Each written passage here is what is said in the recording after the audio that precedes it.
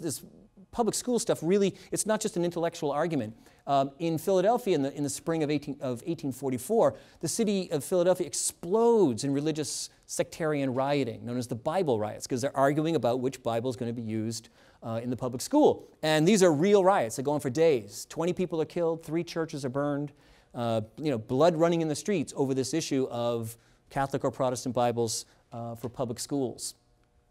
All right, and you can still see evidence of this in New York.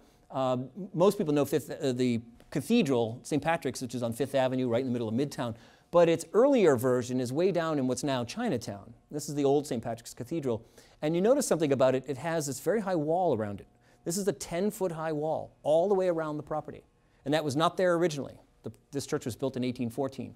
Uh, there was no wall, it was open. But they built the wall in the 1840s because they were afraid the church was going to be destroyed because mobs constantly rumored and threatened uh, to do so. And you can see this is a side shot um, from the sidewalk with people walking to give you an idea of it. It's really a fortified cathedral, big thick walls, three feet thick at the base.